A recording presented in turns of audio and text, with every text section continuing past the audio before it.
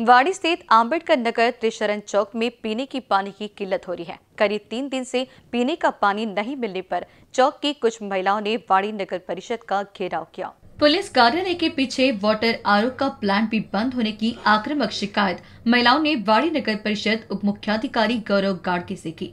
महिलाओं की बढ़ती आक्रामकता को देख अधिकारी गाड़के ने तुरंत संबंधित कर्मचारी से वार्तालाप किया।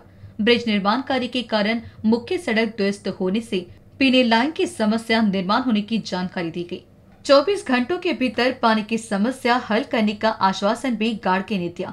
इस दौरान राष्ट्रवादी, सामाजिक न्याय विभाग, जिलाध्यक्ष संतोष नरवाड़े के नेतृत्व में साजन पाटिल, सुरेंद्र मोरे, गुलाब राव ढोकी बेबी बाई घोड़ेसवार, नीलू काकू लांजीवार, सविता वंजारी, सुनीता गोलाई, जयश्री गौरखेड़े, रमाबाई गौरखेड़े, सुमित्रा ढोके, काजल खोबराकडे भोते वंजारीताई कविता कांबळे, मनाबाई ताकडे, सिंधुबाई थारकर, अर्चना मड़के, बबीता मेश्राम, विमल तिड़के चनकापुरी फुसे, सौ ताकड़े उपस्थित थे। इनबीसी न्यूज़ के लिए वाड़ी से सौरभ पाटिल की रिपोर्ट।